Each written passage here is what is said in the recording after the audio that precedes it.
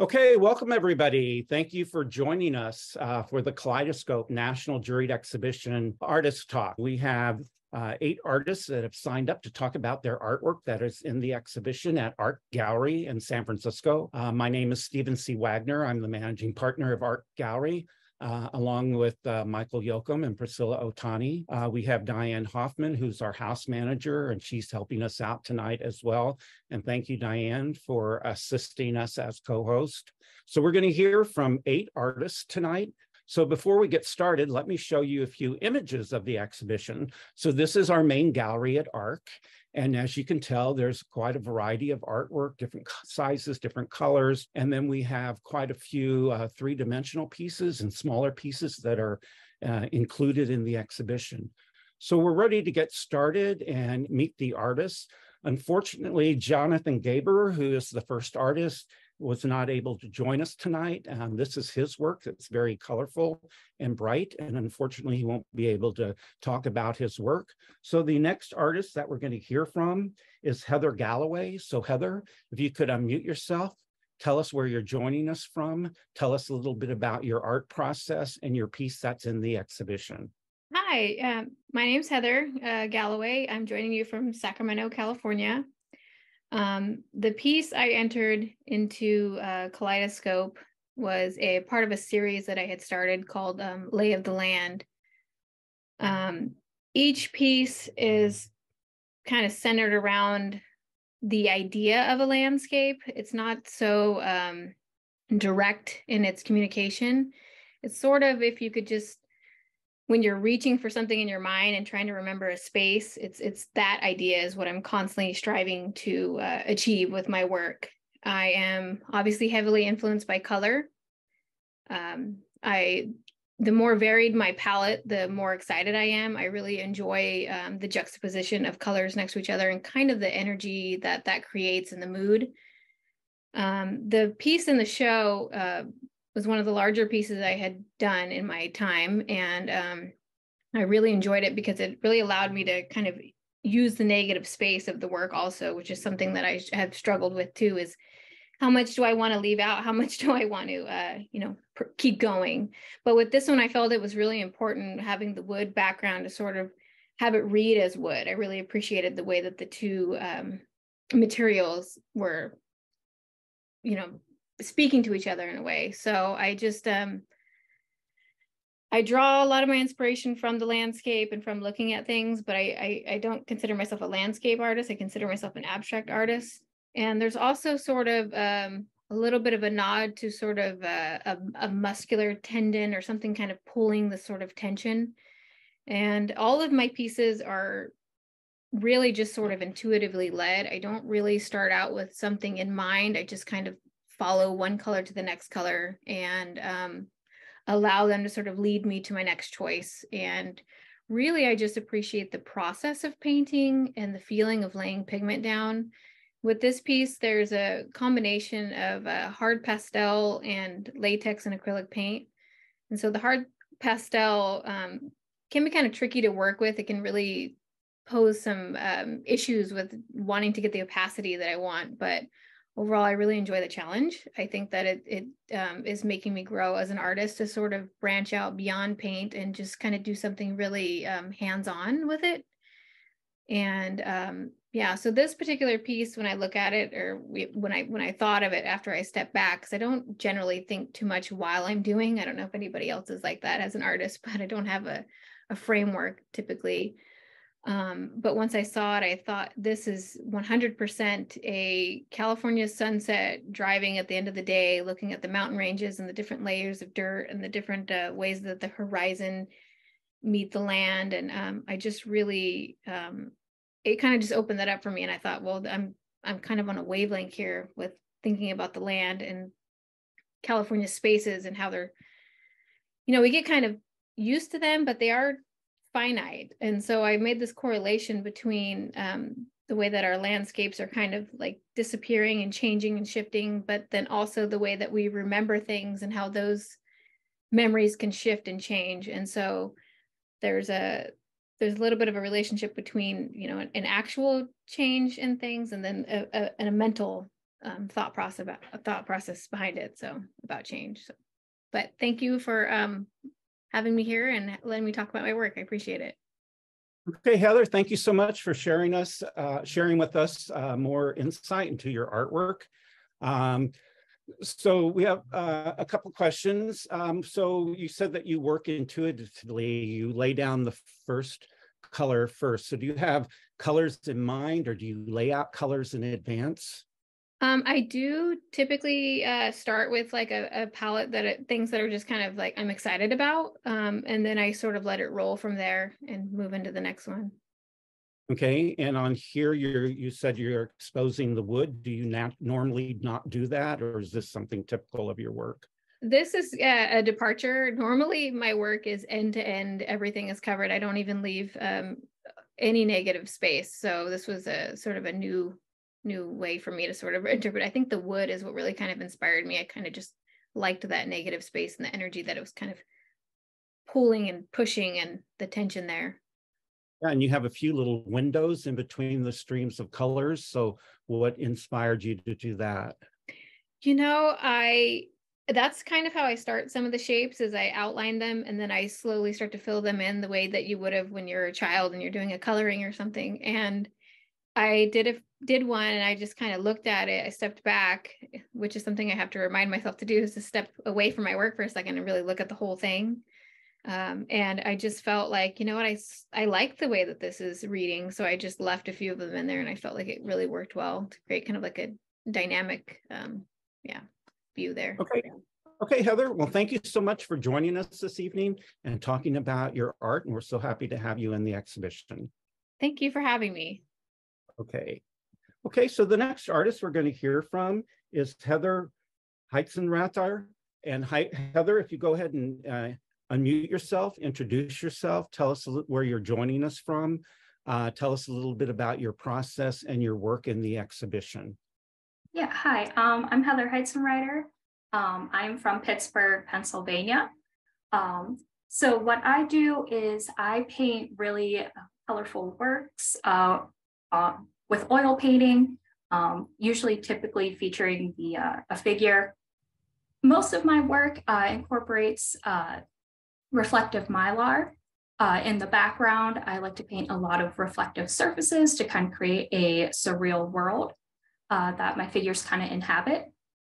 And with this piece that was in Kaleidoscope, um, it was a part of um, one part of four series that I did. And each shape is a, a part of the suit of cards. Uh, this one here, uh, clairvoyance, uh, is the suit of hearts. Um, and with each one, I was trying to depict a different aspect of um, magic that we have um, as humans and different ways that we um, perceive magic. Um, so with this one here, I was uh, thinking about inspiration and ideas.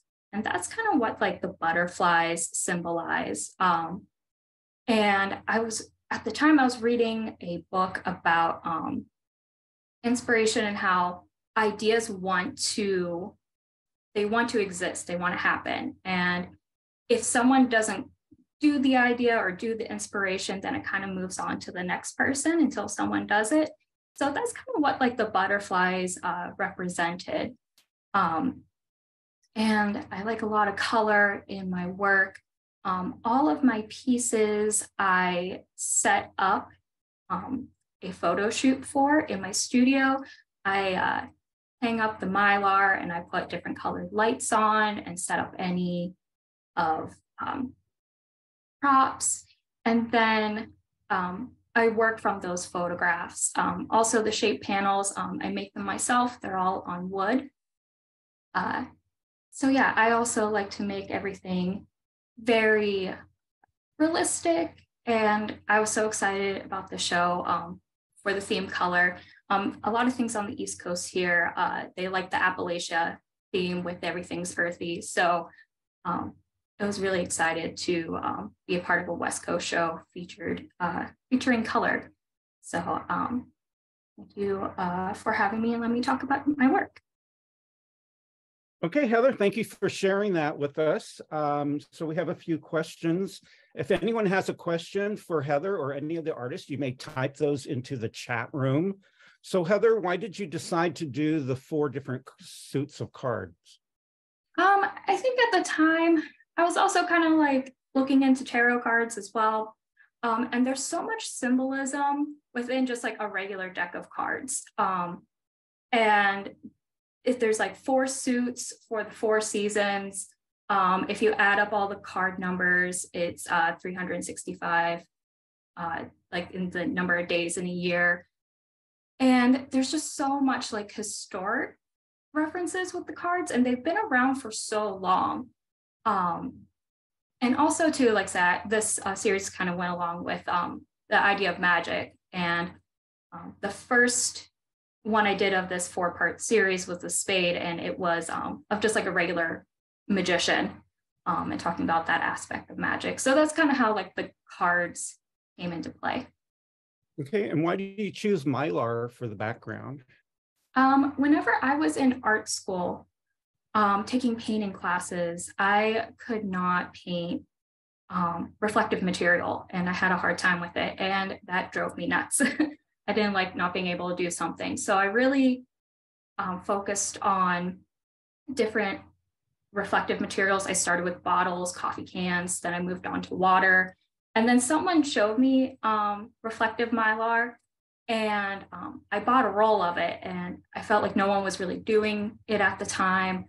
Um, and I've been painting it since. I've been um, kind of working on the series since 2014 and it's almost been 10 years of painting mylar and I just love it. I love how it breaks um, colors and shape down and it makes kind of like abstract in real life. Oh, great, Heather. Thank you for sharing that with us. I just want to note that Heather was one of the three artists that won a Jurist Choice Award in the exhibition. So congratulations um, for uh, your award. Thanks. I'm so excited. Okay, great. So thank you for participating and sharing so much uh, information about your piece. So the next artist that we're going to hear from is Mark Lightfoot. So Mark, if you go ahead and unmute yourself, uh, introduce yourself and tell us where you're joining us from. Tell us a little bit about your art process and your piece that's in the exhibition. Hi, everyone. My name is Mark Lightfoot, and I'm speaking to you from my studio in Oakland, California, West Oakland. Um, I've been an artist uh, painting and printmaking for many, many years. And a few years ago, about seven years ago, I became aware of a new material through uh, visiting a place called a Stained Glass Garden in Berkeley and uh, with a friend who was doing mosaics. And I started to see these really interesting painterly things that were done with glass. And I got very intrigued with it. So uh, what this basically is that I'm working with with glass is fused glass. It's not glass that you uh, blow and put in a, a forge. It's really a, a, kind of it's it's put in a kiln after you create the design. So all the pieces are cut and assembled, and then you do through various different kinds of firings. You create different effects depending on the kind of schedule you have and work with. It's a very technical kind of process, but it has uh, really, uh, it's really excited me and kind of invigorated my process. The piece that's in the show N comes out of a lot of my uh, feelings about being in nature and natural processes and structures and forms. And a lot of that is just intuitively arrived at. When I start working on a piece, I normally don't have a fixed goal.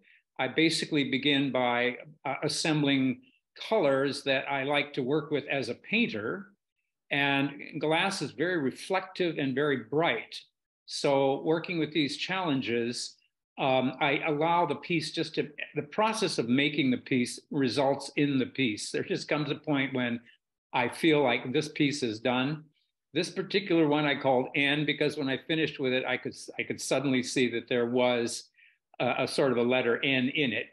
Sometimes my titles just come about very uh, mm, stream of consciousness almost. So the work that I do is oftentimes each piece is very different, but it basically does work. I work with with the glass. I work with bold colors and shapes, and there's always strong and energetic movement in my pieces which to me emulates the kind of motion and rhythm that you see in nature and natural forms. Um, frankly, I'm really in awe of interconnectedness I see in nature. And it is, frankly, this wonder and beauty that I see there that I would like to convey to you, the person who's looking at the piece. Um, that's really all I have to say about it at this point. Um, each piece that I do has very different effects. Sometimes I have a lot more clear glass shining through. There are ways you can use textures to create all kinds of different natural effects like water, wind, and so on. So uh, I just want to thank you very much for inviting me to uh, talk about my work and uh, thank you for joining. Okay, Mark, thank you so much for uh, sharing us uh, with us uh, your process for your piece. Again, if there's any questions, you can type them into the chat. I have the chat box open. I can see it if you type it in now. And Mark, um, I noticed that the piece here is kind of symmetrical, that on each side there's uh, a clear, almost uh, iridescent glass. So did you choose to do that on purpose or was that just a happenstance? well, actually, it did evolve when I started to pull this piece together. I had a lot of action and color going on in the middle, and I began to feel that I wanted more of a quieter bracketing of this energetic center part. So I began to see kind of quieter, more translucent and transparent shapes on the side to kind of bracket the energetic centerpiece, which is almost a cross shape. So as a way of kind of giving the eye relief and also allowing the colors in the middle to sort of come forward and be kind of like the star of the show. Okay, so another question is how do you work with reactive glass? Is that a challenge for you or do you plan for it? Uh, well, reactive glass is uh, when you basically have colors that have different uh, chemical foundations. So if you have a copper or a um, sulfur-based uh, color, they react when they, I think that's, am I understanding you, Stephen, when you're asking about that? Yes. so then uh, when you get a reaction, it means these two glasses join or touch and they create a, a, reaction at the edge, which creates a, a sort of a strong, uh, usually a dark brown color, which you can incorporate into the design if you know that you've got these two colors. Basically, copper colors are basically green, blue greens, and uh, sulfur colors are the yellows, the oranges, and the reds. So when you're working with those colors adjoining each other, they will create this surprising uh, addition to the design just by their touching and reacting. Okay, thanks for explaining that. And then the colors that you choose, do you have uh, pieces of glass all laid out and then you just have an idea in mind of uh, what you want to combine the colors? Well, you know, it's funny. I, I, get a lot of my most interesting ideas when I have, I, you know, over the making of glass, you end up with a lot of bits and scraps and pieces of many, many colors and I sort of have that semi organized.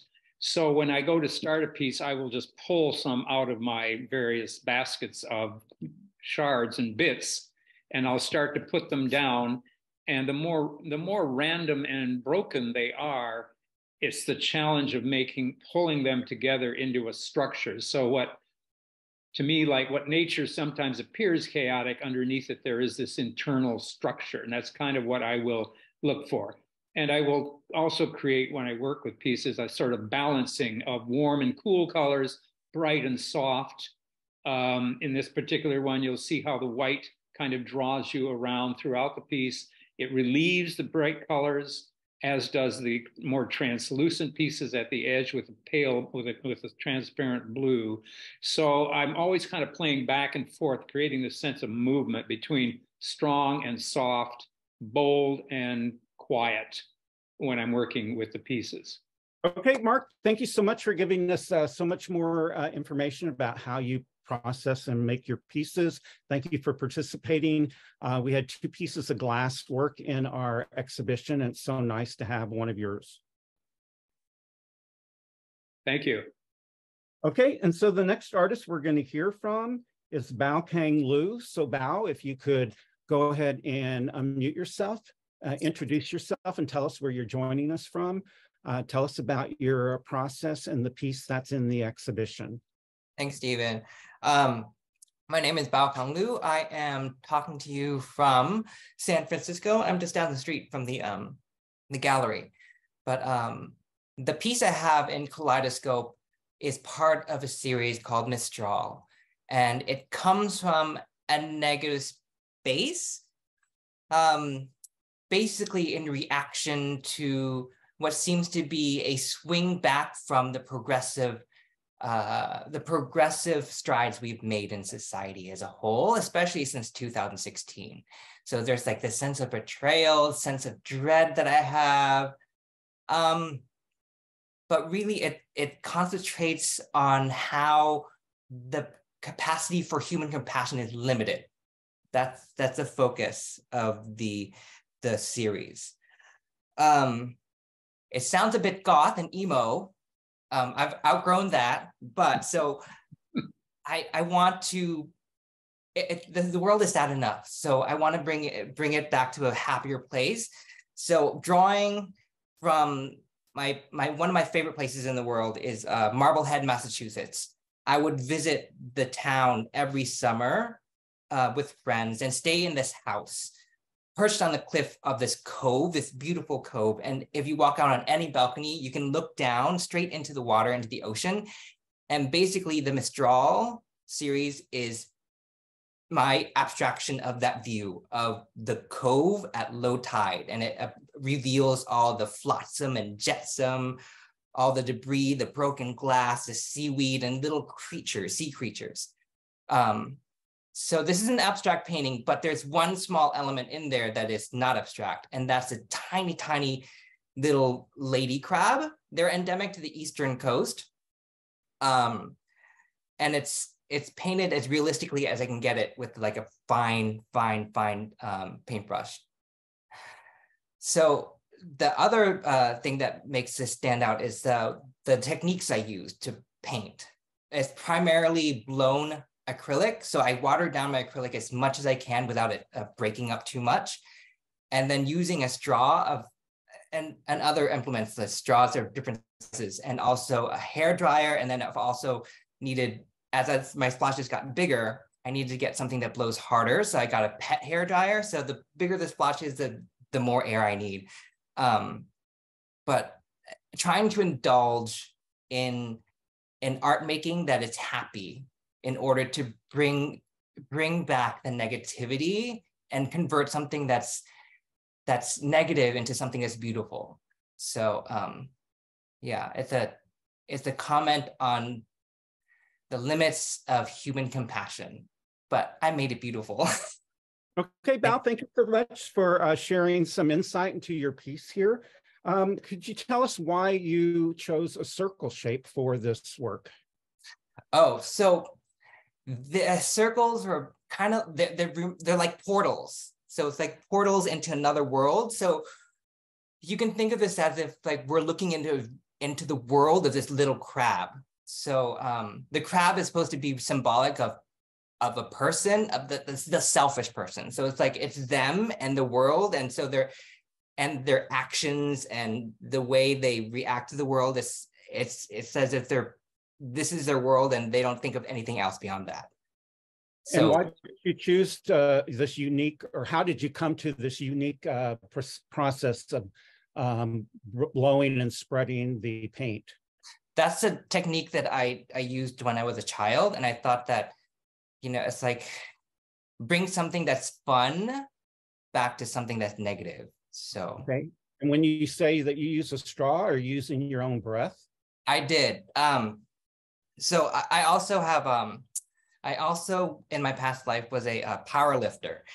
And part of powerlifting is that really uh, is breath control so that you can lift very, very heavy weights. So that helped me in blowing the viscous, even though it's watered down, viscous paint and making those splotches. Um, yeah, so um, lots of technique there. if if only I could have done that when I was a child, but no, it's like I, it started off as um, a technique that I used as a child. Okay, and can we identify where the crab is on this piece? You can't. It's in the bottom right. It's orange. It's the only thing that's bright orange. It's um, it, yeah, bottom right. kind of like at the four four o'clock position. Okay. Okay, well, uh, thank you so much uh, for uh, participating in the artist talk tonight and in the exhibition. And uh, we appreciate you um, and your full explanation on your process. Thank you. Okay, bye-bye. Okay, and so the next artist we're going to hear from is Jennifer Sharkey. So Jennifer, go ahead and introduce, uh, unmute yourself, introduce yourself, tell us where you're joining us from, a little bit about your process and the piece that's in the exhibition. Hi, everybody. Thank you so much for being here. Uh, my name is Jennifer Sharkey, and I'm from Asheville. If you don't know where that is, it's in the Blue Ridge Mountains in Western North Carolina. Um, art's always been a big part of my life, but I started specifically focusing on dot art about six years ago. And I call the type of dot art that I do geometric dotalism. And I say geometric because a majority of my work now is of um, fractaline or flowering mandalas, much like the piece that I have in the show that I call Pinwheel. Um, my process starts with a vision and then a mathematical compass. So many people ask me if I have some sort of template or stencil that I use to plot my mandalas, and the answer is no. I only use a compass and a ruler. And sometimes I don't use anything at all. I'll just start in the middle and I'll see where it takes me. Um, but for Pinwheel, I did have an initial vision and a specific idea that I wanted to share with everybody. And that is, I wanted to remind everybody of their inner child, of that playful, whimsical side of themselves that speaks and or who speaks and acts without fear. And I wanted everybody to remember a time when they were effortlessly and just naturally present in the moment. I've always been fascinated by humans' search for enlightenment, spiritual enlightenment. And I aim to make art that helps them in that journey, but also keeps them grounded and centered at the same time. Do you ever have a moment when you're by yourself, maybe you're driving in your car, and all of a sudden you have this overwhelming feeling of joy and thankfulness? And maybe you don't know where it's coming from because perhaps you're having a bad day.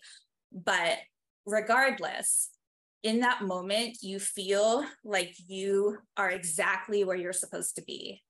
That's the feeling that I want to portray in my art. That calm confidence that you, confidence of knowing that you are on the right path. I think I'll end there. thank you so much again for being here and thank you for listening, uh, letting me talk about my art. Okay, Jennifer, thank you so much for joining us this evening. Um, so you talked about your um, your process. So um, do you always do around a surface like uh, Bao does? No, no. I often, um, this is one of the first pieces I actually did on a cradled piece of round wood. I usually um, would do like this, a circle in a square. Okay, it works very well as a circle. So the colors they, they look like uh, tertiary colors, like teals and purples and the mm-hmm. salmon yes. colors. So do you plan your colors out in advance, or is that more of an instinctual? Um, sometimes I do plan them in advance, and when I do that, I try to use like a discord color. Okay, and like somebody comments. Somebody comments that it reminds them of peacock's feathers. Did you have that in mind? I didn't when I didn't, um, but I see that now. and there's also a sense of three dimensionality where the um, arches are darker towards the center and lighter towards the outside. So was that on purpose as well? Yes, yes, it was. I wanted to create movement, and that was the best way that I I figured I could do that. Okay. And is this a flat surface or concave or convex? It's flat. It's flat. Okay. Well, it's a beautiful piece. Uh, so thank you uh, for participating in the artist talk this evening and sharing so much about your inspiration and process. Thank you so much. Okay, and then the next artist we're going to hear from is Liz Vaughn. So Liz, if you want to go ahead and unmute yourself, introduce yourself and tell us where you're joining us from. Tell us a little bit about your process and the piece that's in the exhibition. Hi, uh, I'm Liz Vaughn. I am joining you from Tucson, Arizona. And um, I'm happy to be here with everyone who's so talented. I feel a little overwhelmed.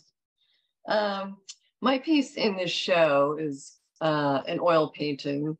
Uh, it's called uh, Beauty Masks and Trade Secrets. And um, there was quite a debacle in shipping it there. So I was considering adding something to the title, like shipping anomalies with it. However, it's um, really kind of a tongue in cheek uh, last year I had a solo show at a historical gallery in Tucson. I was painting a piece and it just kind of went wrong and I ended up blacking out the background and eventually just drawing this yellow line circle ish around the figure. And it worked so well. I think it, it kind of triggered something um, you know, for future work, which is what happened in this piece as well. Um, I've also started going in my work. I, I went more graphic and now I'm I'm really going back to my roots, which are more loose and um, you know, more free, painterly. So I might have um, some pencil in there or there might be chalk pastel, there might be writing in there, um, just something that's really more freeform and more exciting to me. The graphic stuff, I I so admire it and I feel like it's stunning, but it wasn't like making me on fire. So that's kind of how I segued into this. And I feel like, you know, if something's pulling you that passion, that you should just dive in and kind of do it. Um, the technical process, which I think uh, maybe I talked about a little bit, um, I usually sketch, which would be in just a regular graphite um, mechanical pencil, always free form, never uh, with the projector. And then usually an acrylic underpainting and then oil, layers of oil on top. Okay, Liz, thank you for sharing that with us. Um, so someone's asking if this is a self-portrait. I actually get that question a lot. Um, I am very, very drawn to the female figure, and almost all of my figurative work is is almost always women. Um, I think in the early days there were a lot of self-portraits many years ago, but not so much now. I think it the two just kind of you know meshed around and now we just have this signature style that either they look like me or i look like them i'm not sure which is the case and do you paint from a photograph or is this something that's more in your mind so for me um, i keep sort of a running dialogue of words and phrases and things that are just uh, words are just fascinating to me. So I, I have a lot of that tumbling around. Sometimes it's more the the word before or, or the phrase before the image. So I do look at other work for inspiration, um, and I'm very much uh, interested in abstract, obviously expressionism, um, all of it really. Uh, I think all of it finds inspiration in your in your piece, um, and hopefully comes together in a way, maybe not necessarily with the beauty mask, but something that just is passionate for you. Okay, and somebody's asking if you're following your passion more so now than with your graphics.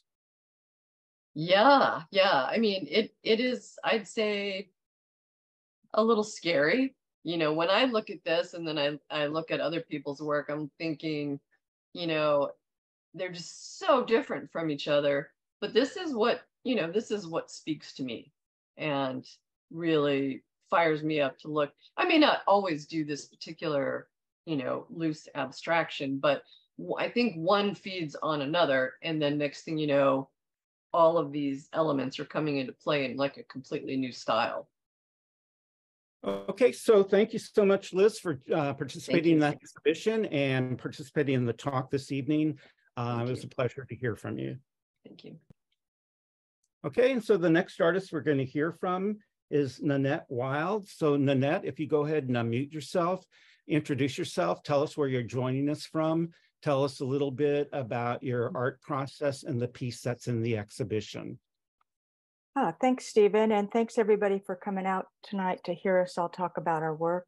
I'm located on the San Francisco Peninsula. I'm an art educator, uh, a writer, as well as a practicing artist and a curator and a publisher.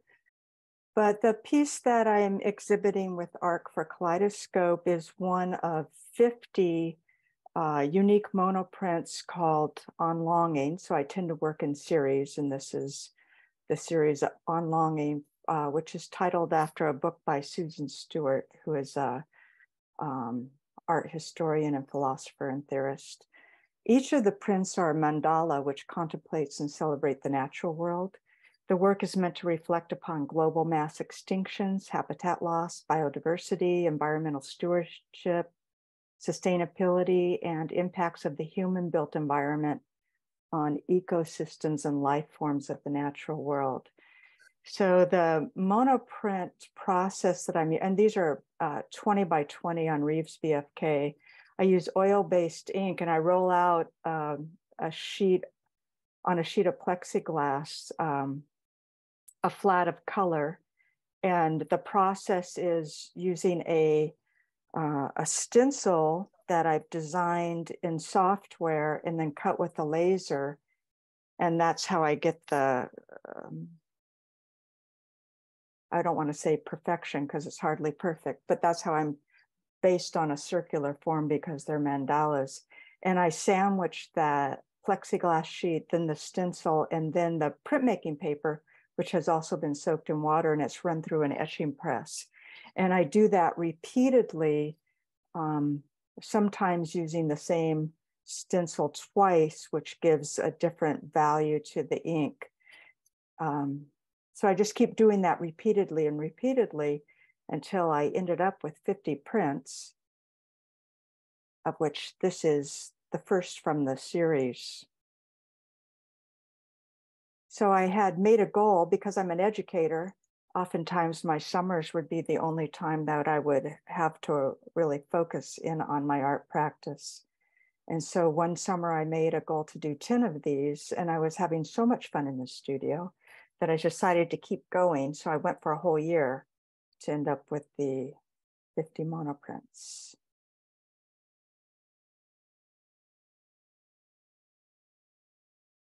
And uh, I guess I could say more about the what I was thinking about. I was wondering if I could make work about our global situation of mass extinctions that was not negative, sappy, or in your face political. So I'm personally affected by the fact that African elephants are expected to be eliminated from Africa any minute now if the current rate of poaching for ivory continues. And then we have these huge issues of surrounding colony collapse disorder for one of our primary pollinators, which is bees. So I wanted to make work that was positive about such losses, hoping to bring attention to celebrate non-human life um, to these issues without being slapping people in the face. Okay, so, so Nanette, thank you so much for sharing that with us. Um, you mentioned this is your first out of 50 pieces. So how did these evolve over time? Well, uh, I started kind of with random shapes and uh, very randomly started printing. Um, and sometimes the stencils would be destroyed in the printing process, so they wouldn't be able to be reused. But as I kept layering ink, so every color you see there is a different run through the press. As I kept developing each print, uh, I had to start making very distinct decisions to how to satisfy the image and complete it. So it, I had them up in my studio wall and I would take, uh, you know, after a while, I'd say, well, I'm going to print brown today and which ones would benefit from brown and what stencils would I use. So it was um, serendipitous, but a lot of looking, a lot of considering, and you know, thinking about the formal qualities as well as the content of the work. Okay, Nanette, well, thank you so much for uh, participating in the exhibition and the artist talk tonight. So we thank uh, all the artists for participating in the artist talk tonight uh, and sharing uh, more inspiration into their pieces and more enlightenment into their process. And thank you to all of you who joined us. I hope you enjoyed hearing from the artists. Take care and thank you. Good night.